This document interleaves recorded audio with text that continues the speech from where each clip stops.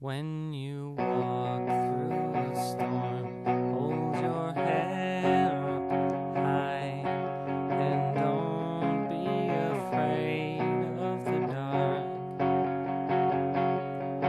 At the end of the storm is a golden sky and the sweet silver sun.